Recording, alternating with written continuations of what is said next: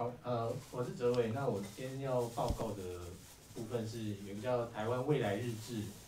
我们之前专名的叫预想形势力这样一个主题。那首首先提一下，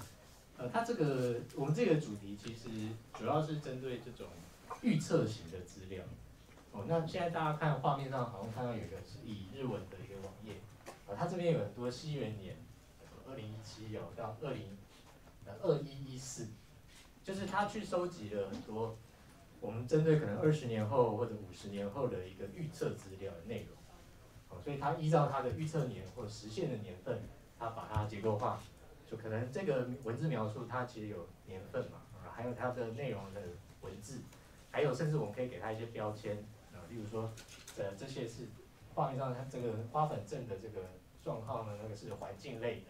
或者是是交通类的。或者是一些产业技术类的一些预测内容，那他把它整理成这个所谓未来年表的一个检索的资料库。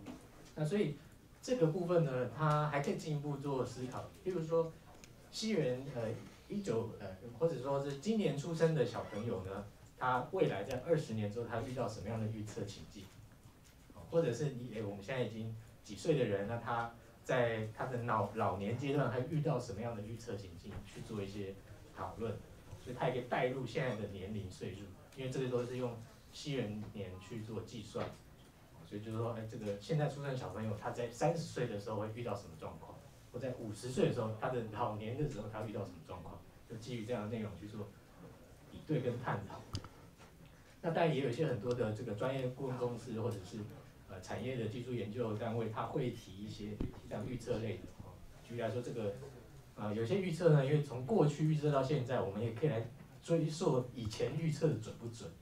我们除了刚才收集未对未来的一些预测之外，过去对于现在的预测，它是一个呃什么样的一个精准度，或者是有没有什么误差，也是可以去做追踪。所以总之这个专案呢，它会我们会希望是收集这样的一个有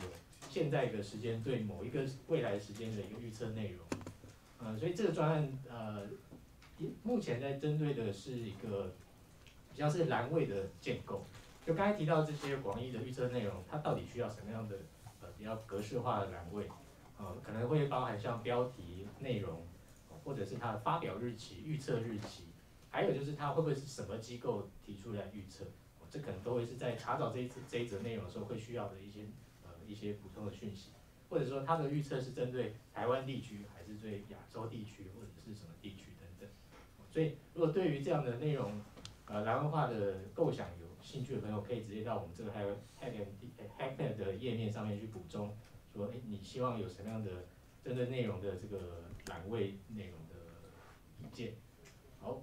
那这个部分之外呢，如果你对于整个这个主题，呃，从这个阅听者的角度，到底大家会关心什么样的预测内容？有有兴趣的话，你可以帮忙填写，我们在这个 Hack Hack Hack 上面有一个。问卷，那这个问卷是由另外一位参与者叫 QMO Lee，他建立一个叫做民众对于时事预测等探究行为的研究问卷。那在这个问卷里面，他会询问呃，包含受访者的，不管是这个背景资料，然后你对于什么样预测类别会有兴趣。那他也针对了现在已经有的资料做一个算是用户的研究报告，也可以在我们的 h a g 上面看到。对于，例如说在里面章节就会说，对于这个可预期的未来，什么情况会导致受众想要知道未来的变化，或者是呃什么样的人会对于前卫未来的情境会有兴趣？然后最后还有一个蛮重要的是，啊，他有邀请大家来提供专案的名称，因为我们这专年级还没有真的确定。所以在单就现在收集的内容上，以他们诶以这个 QMO 他做使用者分析的角度，他会建议说，不同的人都有提到某一些共通的，像未来这个词，可能是英文，可能是中文，所以未来在取这个名称的时候，会可以选这个，那一就是让那个 SEO 的查查找会比较更直接。那当然也有一位朋友他说这个，他他他是取一个叫神奇海螺的这个名称，所以那。QMO 就是说这个，这比较是